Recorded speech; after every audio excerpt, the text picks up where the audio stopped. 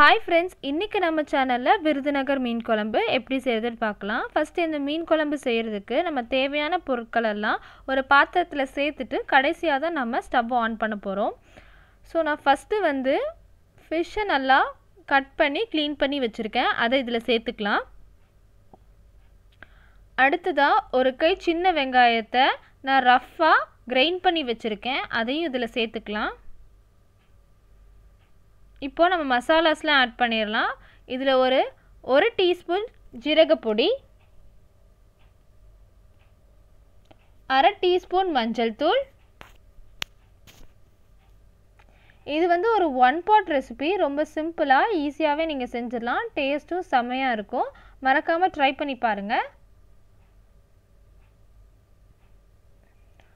அடுத்ததாக ஒரு ரெண்டு டீஸ்பூன் மிளகாய்த்தூள்.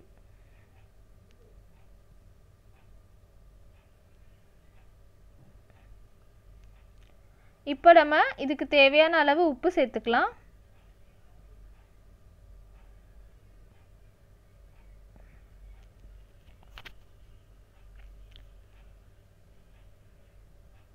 அடுத்ததாக இதில் புளி கரைச்சல் சேர்த்துக்கோங்க. புளி சேர்த்துக்கிட்டா தான் நல்ல டேஸ்ட் கொடுக்கும் உங்களுக்கு.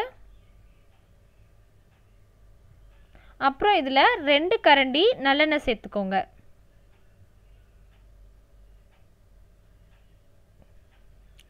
இப்போ நம்ம சேர்க்க வேண்டிய பொருள்லாம் சேர்த்தாச்சு. ஸோ நம்ம அடுப்பை பற்ற வச்சிடலாம்.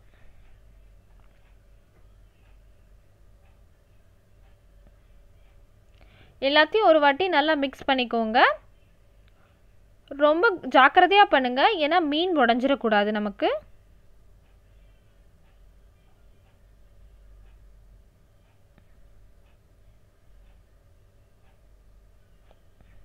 இப்போ இதை ஒரு டென் டு ஃபிஃப்டீன் மினிட்ஸ் நல்லா கொதிக்க விட்டுருங்க. இப்போ டென் டு ஃபிஃப்டீன் மினிட்ஸில் நல்லா கொதித்து வர ஆரம்பிச்சிட்டு கொஞ்ச நேரத்திலே அதோட எண்ணெய்லாம் பிரிஞ்சு மேலே நிற்க ஆரம்பிக்கும்.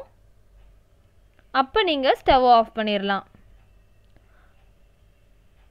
அவ்வளோதான். ரொம்ப சிம்பிளான மீன் குழம்பு ரெடி இந்த வீடியோ உங்களுக்கு பிடிச்சிருந்ததுன்னா எங்கள் சேனலுக்கு சப்ஸ்கிரைப் பண்ணுங்கள் பெல் ஐக்கானை ப்ரெஸ் பண்ணிடுங்க